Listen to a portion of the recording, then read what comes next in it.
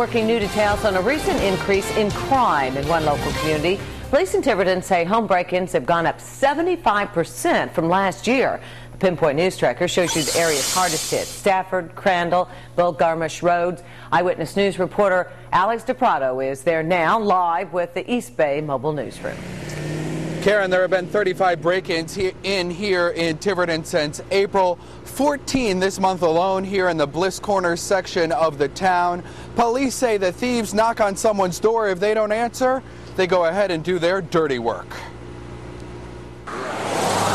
Among the tree-lined streets and pretty homes in Tiverton, a well-organized group of thieves are leaving their mark.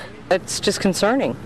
This month, 14 homes hit, a 75% increase from July of last year. Police believe it's the handiwork of one group.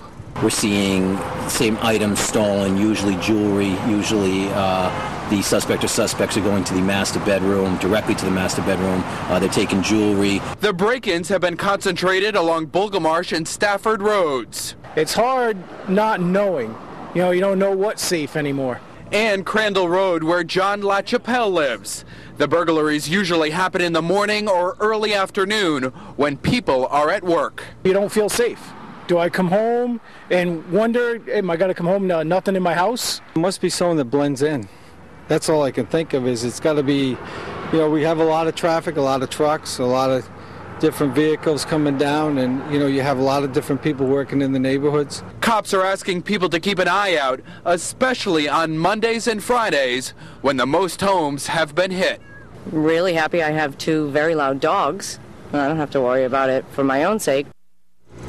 Well, police say to be wary of people who may knock on your door here in Tiverton, and if you don't answer, uh, if you answer rather, ask for directions.